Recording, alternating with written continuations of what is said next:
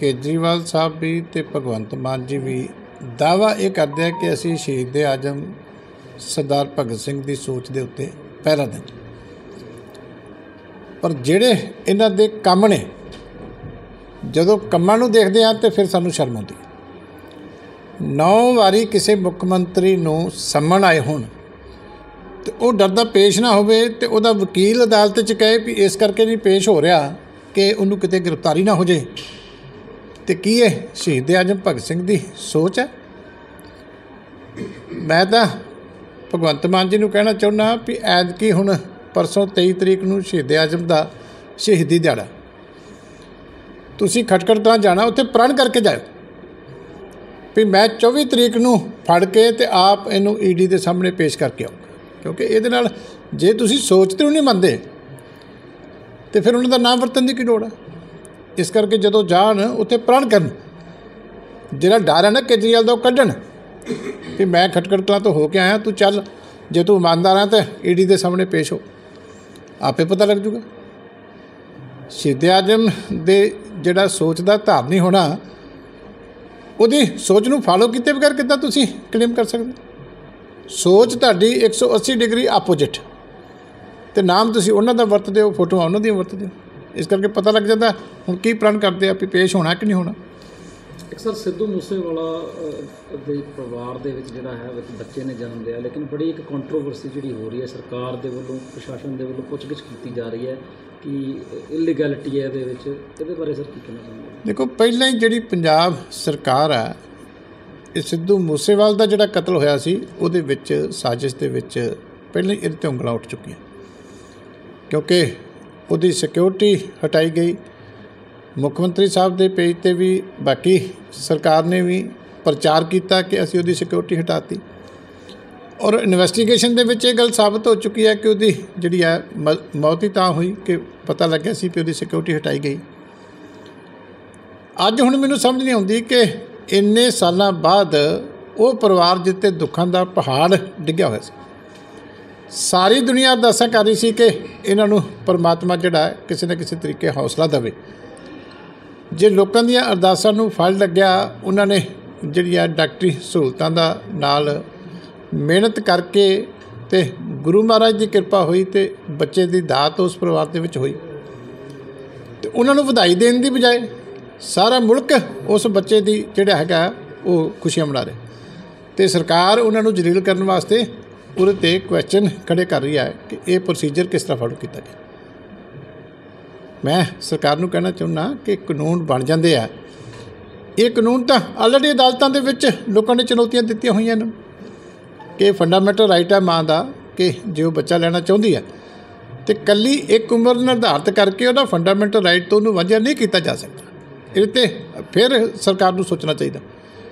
ਉਹਦੀ ਸਿਹਤ ਜ਼ਿਆਦਾ ਮੈਟਰ ਕਰਦੀ ਹੈ ਜੇ ਮਾੜੀ ਮੋਟੀ ਉਮਰ ਉਧਰ ਉਧਰ ਵੀ ਹੋਵੇ, ਸਿਹਤ ਬੈਟਰ ਹੈ।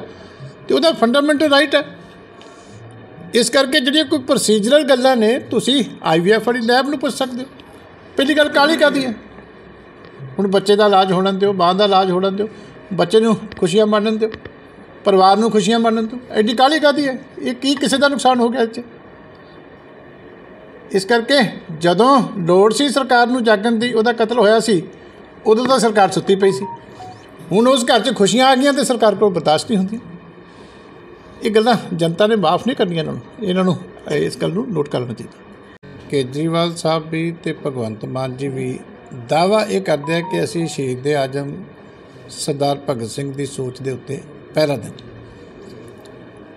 ਪਰ ਜਿਹੜੇ ਇਹਨਾਂ ਦੇ ਕੰਮ ਨੇ, ਜਦੋਂ ਕੰਮਾਂ ਨੂੰ ਦੇਖਦੇ ਆ ਤੇ ਫਿਰ ਸਾਨੂੰ ਸ਼ਰਮ ਆਉਂਦੀ ਹੈ।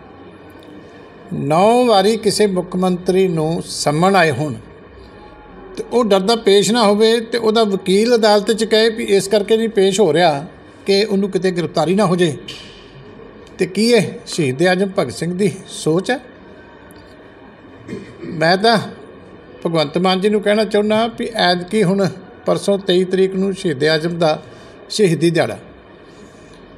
ਤੁਸੀਂ ਖਟਕੜ ਤਾਂ ਜਾਣਾ, ਉੱਥੇ ਪ੍ਰਣ ਕਰਕੇ ਜਾਇਓ।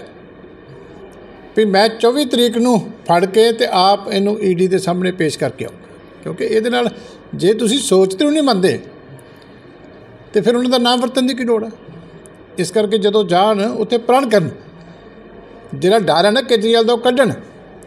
ਕਿ ਮੈਂ ਖਟਕੜ ਕਲਾਂ ਤੋਂ ਹੋ ਕੇ ਆਇਆ, ਤੂੰ ਚੱਲ, ਜੇ ਤੂੰ ਇਮਾਨਦਾਰ ਹੈ ਤਾਂ ਈਡੀ ਦੇ ਸਾਹਮਣੇ ਪੇਸ਼ ਹੋ। ਆਪੇ ਪਤਾ ਲੱਗ ਜੂਗਾ। ਸ਼ਹੀਦ ਆਜਮ ਦੇ ਜਿਹੜਾ ਸੋਚ ਦਾ ਧਾਰ ਨਹੀਂ ਹੋਣਾ ਉਹਦੀ ਸੋਚ ਨੂੰ ਫਾਲੋ ਕੀਤੇ ਬਗੈਰ ਕਿੱਦਾਂ ਤੁਸੀਂ ਕਲੇਮ ਕਰ ਸਕਦੇ? ਸੋਚ ਤੁਹਾਡੀ 180 ਡਿਗਰੀ ਆਪੋਜ਼ਿਟ ਤੇ ਨਾਮ ਤੁਸੀਂ ਉਹਨਾਂ ਦਾ ਵਰਤਦੇ ਹੋ ਫੋਟੋਆਂ ਉਹਨਾਂ ਦੀਆਂ ਵਰਤਦੇ ਹੋ ਇਸ ਕਰਕੇ ਪਤਾ ਲੱਗ ਜਾਂਦਾ ਹੁਣ ਕੀ ਪ੍ਰਣ ਕਰਦੇ ਆ, ਵੀ ਪੇਸ਼ ਹੋਣਾ ਕਿ ਨਹੀਂ ਹੋਣਾ। ਅਕਸਰ ਸਿੱਧੂ ਮੂਸੇਵਾਲਾ ਦੇ ਪਰਿਵਾਰ ਦੇ ਵਿੱਚ ਜਿਹੜਾ ਹੈ ਬੱਚੇ ਨੇ ਜਨਮ ਲਿਆ, ਲੇਕਿਨ ਬੜੀ ਇੱਕ ਕੰਟਰੋਵਰਸੀ ਜਿਹੜੀ ਹੋ ਰਹੀ ਹੈ, ਸਰਕਾਰ ਦੇ ਵੱਲੋਂ, ਪ੍ਰਸ਼ਾਸਨ ਦੇ ਵੱਲੋਂ ਪੁੱਛਗਿੱਛ ਕੀਤੀ ਜਾ ਰਹੀ ਹੈ। ਕਿ ਇਲੀਗੈਲਿਟੀ ਹੈ ਇਹਦੇ ਵਿੱਚ, ਇਹਦੇ ਬਾਰੇ ਸਰ ਕੀ ਕਹਿਣਾ ਚਾਹੁੰਦੇ ਦੇਖੋ, ਪਹਿਲਾਂ ਹੀ ਜਿਹੜੀ ਪੰਜਾਬ ਸਰਕਾਰ ਆ ਇਹ ਸਿੱਧੂ ਮੂਸੇਵਾਲ ਦਾ ਜਿਹੜਾ ਕਤਲ ਹੋਇਆ ਸੀ, ਉਹਦੇ ਵਿੱਚ, ਸਾਜ਼ਿਸ਼ ਦੇ ਵਿੱਚ ਪਹਿਲਾਂ ਹੀ ਇਹਦੇ ਤੇ ਉਂਗਲਾਂ ਉੱਠ ਚੁੱਕੀਆਂ। ਕਿਉਂਕਿ ਉਹਦੀ ਸਿਕਿਉਰਿਟੀ ਹਟਾਈ ਗਈ।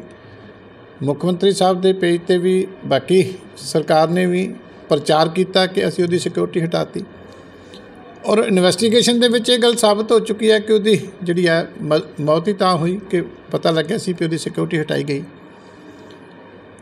ਅੱਜ ਹੁਣ ਮੈਨੂੰ ਸਮਝ ਨਹੀਂ ਆਉਂਦੀ ਕਿ ਇੰਨੇ ਸਾਲਾਂ ਬਾਅਦ ਉਹ ਪਰਿਵਾਰ ਜਿੱਤੇ ਦੁੱਖਾਂ ਦਾ ਪਹਾੜ ਡਿੱਗਿਆ ਹੋਇਆ ਸੀ।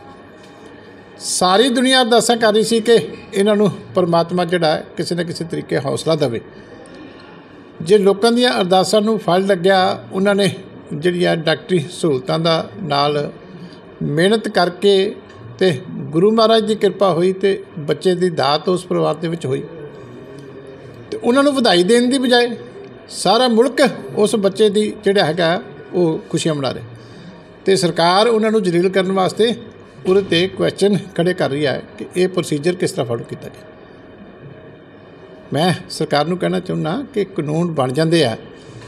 ਇਹ ਕਾਨੂੰਨ ਤਾਂ ਆਲਰੇਡੀ ਅਦਾਲਤਾਂ ਦੇ ਵਿੱਚ ਲੋਕਾਂ ਨੇ ਚੁਣੌਤੀਆਂ ਦਿੱਤੀਆਂ ਹੋਈਆਂ ਨੇ। ਕਿ ਫੰਡਾਮੈਂਟਲ ਰਾਈਟ ਹੈ ਮਾਂ ਦਾ ਕਿ ਜੇ ਉਹ ਬੱਚਾ ਲੈਣਾ ਚਾਹੁੰਦੀ ਹੈ ਤੇ ਕੱਲੀ ਇੱਕ ਉਮਰ ਨਿਰਧਾਰਤ ਕਰਕੇ ਉਹਦਾ ਫੰਡਾਮੈਂਟਲ ਰਾਈਟ ਤੋਂ ਉਹਨੂੰ ਵਾਂਝਾ ਨਹੀਂ ਕੀਤਾ ਜਾ ਸਕਦਾ। ਇਹ ਤੇ ਫਿਰ ਸਰਕਾਰ ਨੂੰ ਸੋਚਣਾ ਚਾਹੀਦਾ। ਉਹਦੀ ਸਿਹਤ ਜ਼ਿਆਦਾ ਮੈਟਰ ਕਰਦੀ ਹੈ ਜੇ ਮਾੜੀ ਮੋਟੀ ਉਮਰ ਉਧਰ ਉਧਰ ਵੀ ਹੋਵੇ, ਸਿਹਤ ਬੈਟਰ ਹੈ ਤੇ ਉਹਦਾ ਫੰਡਾਮੈਂਟਲ ਰਾਈਟ ਹੈ ਇਸ ਕਰਕੇ ਜਿਹੜੀਆਂ ਕੋਈ ਪ੍ਰੋਸੀਜਰਲ ਗੱਲਾਂ ਨੇ, ਤੁਸੀਂ ਆਈਵੀਐਫ ਵਾਲੀ ਲੈਬ ਨੂੰ ਪੁੱਛ ਸਕਦੇ ਹੋ। ਪਹਿਲੀ ਗੱਲ ਕਾਲੀ ਕਾਦੀ ਹੈ ਹੁਣ ਬੱਚੇ ਦਾ ਇਲਾਜ ਹੋਣ ਦਿਓ, ਮਾਂ ਦਾ ਇਲਾਜ ਹੋਣ ਦਿਓ। ਬੱਚੇ ਨੂੰ ਖੁਸ਼ੀਆਂ ਮਾਣਨ ਦਿਓ, ਪਰਿਵਾਰ ਨੂੰ ਖੁਸ਼ੀਆਂ ਮਾਣਨ ਦਿਓ। ਐਡੀ ਕਾਲੀ ਕਾਦੀ ਹੈ? ਇਹ ਕੀ ਕਿਸੇ ਦਾ ਨੁਕਸਾਨ ਹੋ ਗਿਆ ਇਹ ਇਸ ਕਰਕੇ ਜਦੋਂ ਲੋੜ ਸੀ ਸਰਕਾਰ ਨੂੰ ਜਾਗਣ ਦੀ, ਉਹਦਾ ਕਤਲ ਹੋਇਆ ਸੀ, ਉਦੋਂ ਤਾਂ ਸਰਕਾਰ ਸੁੱਤੀ ਪਈ ਸੀ। ਹੁਣ ਉਸ ਘਰ 'ਚ ਖੁਸ਼ੀਆਂ ਆ ਗਈਆਂ ਤੇ ਸਰਕਾਰ ਕੋਲ ਬਰਦਾਸ਼ਤ ਨਹੀਂ ਹੁੰਦੀ। ਇਹ ਗੱਲਾਂ ਜਨਤਾ ਨੇ ਮਾਫ ਨਹੀਂ ਕਰਨੀਆਂ ਇਹਨਾਂ ਨੂੰ। ਇਹਨਾਂ ਨੂੰ ਇਸ ਗੱਲ ਨੂੰ ਨੋਟ ਕਰ ਲੈਣਾ ਚਾਹੀਦਾ। Subscribe to One India channel and never miss an update.